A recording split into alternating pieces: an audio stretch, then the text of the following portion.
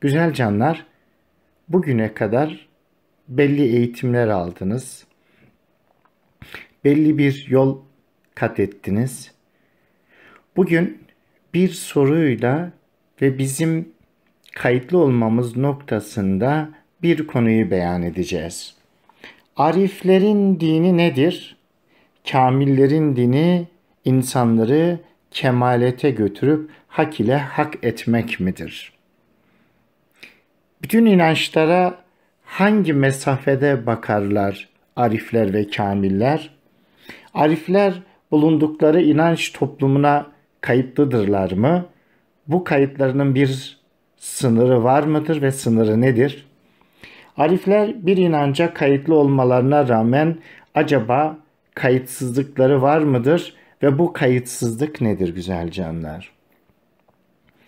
Ey hakikat yolcusu, ey hakkı arayan, ey gerçeklik diyarına ulaşmak için daima kendini sorgulayan, bazen aşka girip bazen aşkı soğuduğu zaman umutsuzluğa kapılan, ey gerçeklik diyarına ulaşma noktasında gerçekliği dışarıda fark ettiği zaman da içeriye dönen, hu mertebesinin sığına agah olmak için yol olan güzel can. Bir inanca kayıtlı görünsek de biz haktan, hakikatten, gerçeklikten başka hiçbir yere kayıtlı değiliz. Bütün inançlara inancımızla eşit bir mesafede olmak zorundayız. Ve biz bu yolun hizmetkarıyız.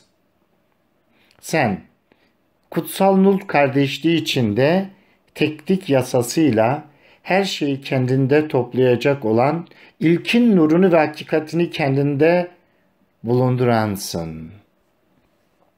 Sen her toplumun içinde or toplumun gelenek ve göreneklerini, inancını, dilini iyi bilip onların seviyesine göre haksal sırları ve bilgileri vereceksin.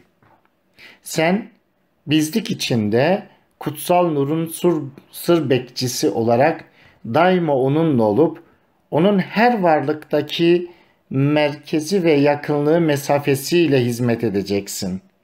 Allah her şeyin merkezinde aynı zamanda bütün varlıklara eşit mesafededir. Halka hakkın istediği gibi yaklaş. Güneş gibi, yağmur gibi, toprak gibi, su gibi ve hava gibi. Ey kutsal nur taşıyıcısı olmak isteyen, Ariflerin dini olmaz ama dinsiz arif de olmaz.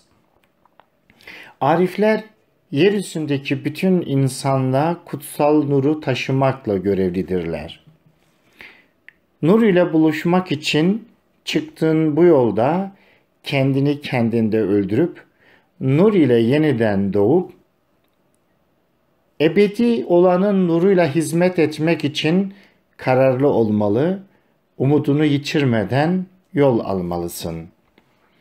Kutsal nur kardeşliği içinde menzile varmak ve basiret gözüyle görmek istediğin ama bu yolda hizmet etmek en büyük amacın olmalıdır.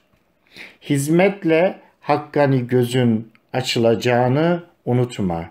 Eğer ki o göz açılmıyorsa bil ki hizmetindeki eksikliğindendir.